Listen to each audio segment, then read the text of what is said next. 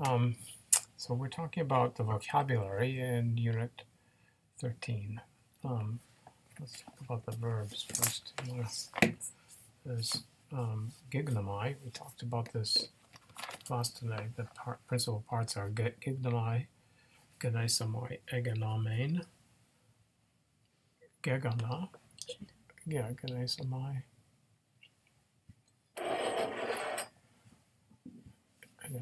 which is the aorist. And one of the th important things about that form is that the verb to be, which we haven't had yet, ha had yet, has um, no aorist, so so eganomain functions as its aorist. Then there's a perfect gegana, and then there's a perfect middle, gegene, gegenemai. Oh, yeah. I mean, there is five, but there's no six, right. since it's a deponent verb. Gegenemai. So you've you've got all the forms are deponented except for the perfect. Okay, you can see that you've got an alternation between the the root gn, which is in the first principal part. Maybe you should write that over there next to it. The root there is gn. That's the one that's reduplicated. Then in the next two, you've got the root gen. Okay, and the aorist as well. It's gen. But in the perfect, the root is gone. G-O-N right? So you've got the alternation between the O vowel and the root, the E vowel and the root, and the O vowel and the root, mm -hmm. right? Um, and you got the reduplication with an iota to mark the present of the form and the um, and the uh, um, absence of reduplication in the aorist and the reduplication with an epsilon in the in the uh, perfect. Right.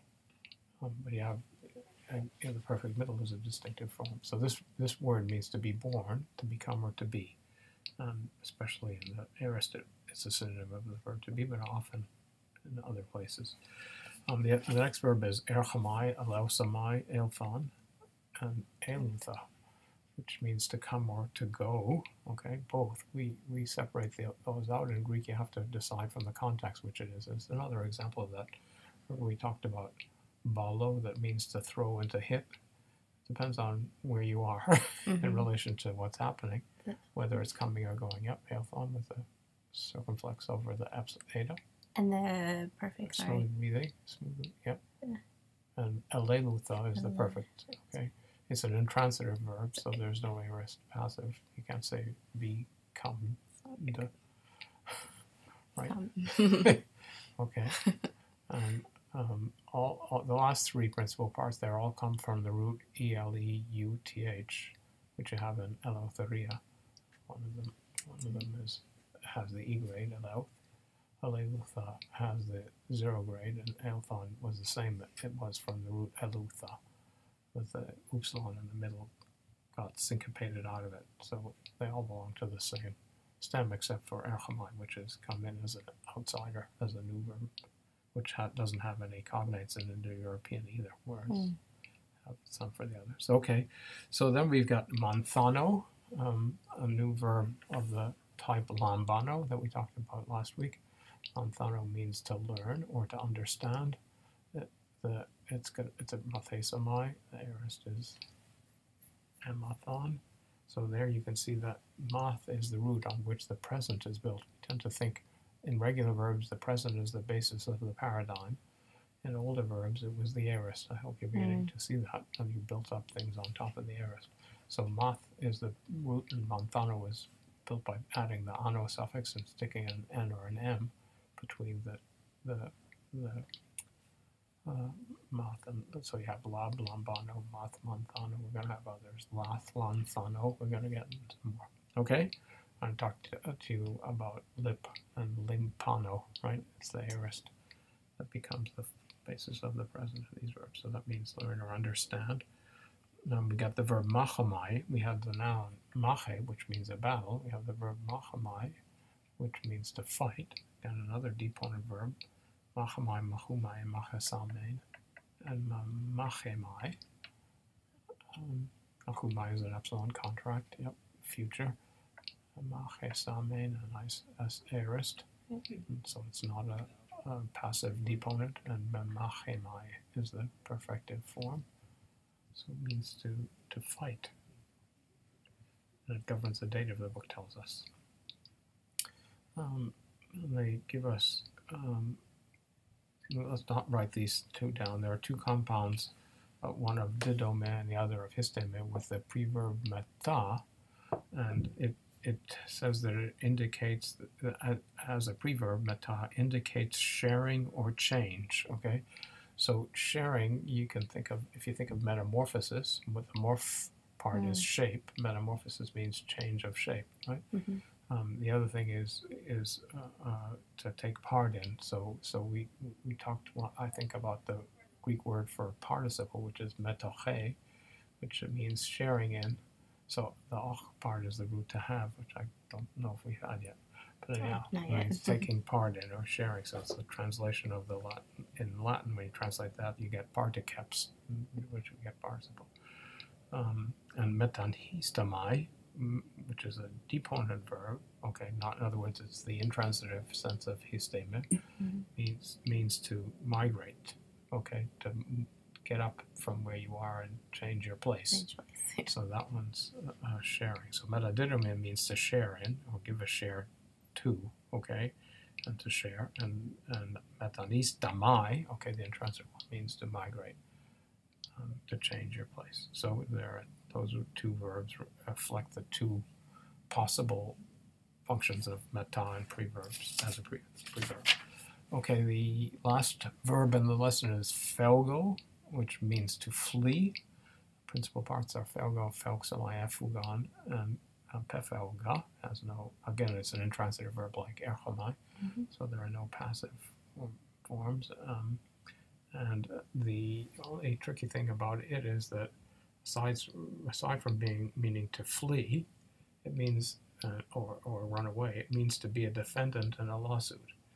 Because in, we have this vestiges of the Latin uh, principle about this in English. So you call a prosecutor is the person who who who is not the defendant but the person who brings the lawsuit. Mhm. And prosequor in Latin means to chase after someone.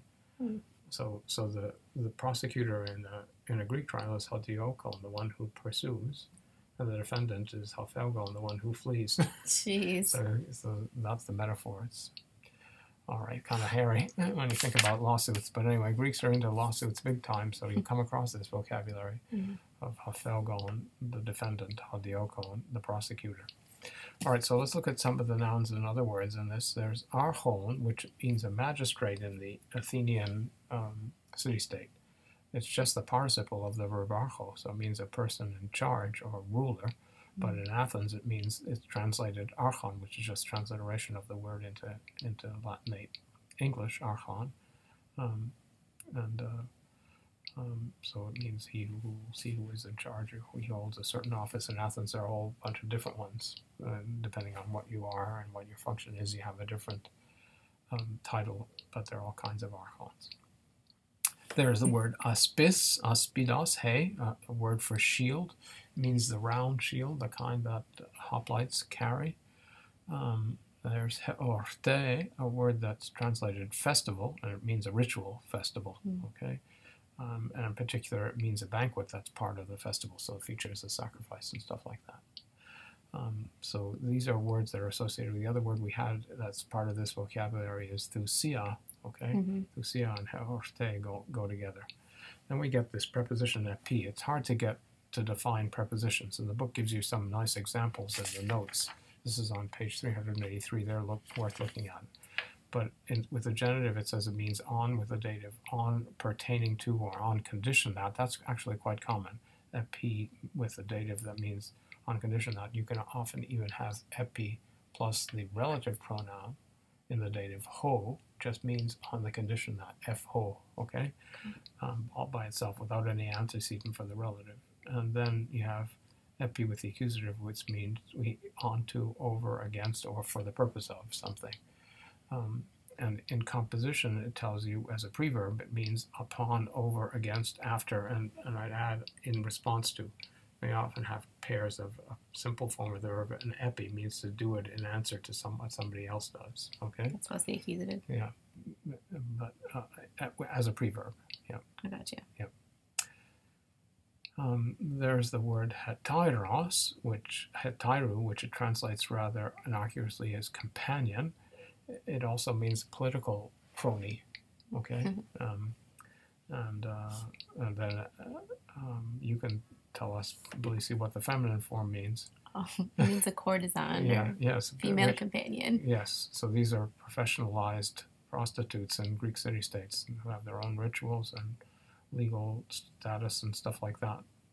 Um, there's Euripides, the name of the tragic poet, who's like not like Socrates but like Stratiotes. Okay, so it's a it's a um, uh, one of those first declension masculine names. So that Socrates, Socratus is one type of noun name in in Ace, and Euripides is another Mm. and you can't tell just by looking at the nominative which one they are. You have to know the genitive in Greek. A lot more of them are, are of the Socrates type, the Socrates Socratus type, the estems, than of the Euripides type. Um, you get the noun kratos kratus, to, another noun of the genos type that means strength or power. We got mechane, which means a gadget, a device. Um, we get the word machine from it um, by way of the Latin uh, borrowing of it, of the Greek word into into uh, Latin. We have a this is a really old word for sword, xiphos, xyphus, ta. Okay, you have that word in Linear B in the oldest Greek that we have. It's not the standard word for sword, which is um, there's uh, there's homoios, homoia, homoion, like an adjective that governs a dative. So you want to say somebody's like something you do homoios in the proper gender number in case and a dative to go with it. That's one way of doing it. Um, let's see, we got here's another word, pais paidos, which is the, really the standard word for child in Greek. It can be either of masculine or feminine gender, so it's another one of these tricky nouns, like theos. You have to translate it um, as boy or girl, okay, depending on whether its gender is masculine or feminine. So you got to be careful. Hey or ha, but the inflections are the same. Um, let's see, there's the adjective, no, the noun pouspados, foot, from which you get podiatrist and stuff like that. There's the uh, adjective saphes, safes, like alethes alethes, that means clear. Summachos. Okay, so this is a compound of sun and the root mach, and to get an adjective, meaning fighting along with someone else. So therefore, it becomes a noun that means an ally.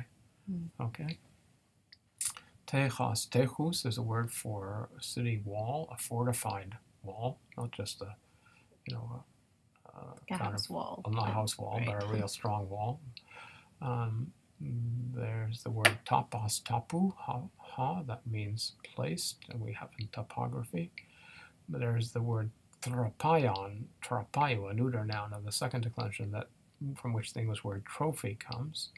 And that book tells you it means a trophy or a victory monument. Uh, What, what happened in Greek battles was when you defeated the other side, they turned around and run, so ran away. So trop means the tropion means the place at which the enemy turned, and you made a mound of of dirt and, and stuff that that the people had left behind as a sign that you beat them. Greeks are into defeating other people and winning. okay, big time. Chalapos, chalape, chalapon, an adjective that means harsh or difficult or cruel. It can mean as well as. Uh, and lastly, there's the word for hand, cher, cheros, a monosyllabic noun of the third declension. Remember these? Nux, nuktos, in which the, the in the genitive and the dative, the accent's on the last syllable. So it's cher, cheros, cheri, and then chera, uh, or chera with the ad- accent on the first syllable. Right? Um, I think that's it.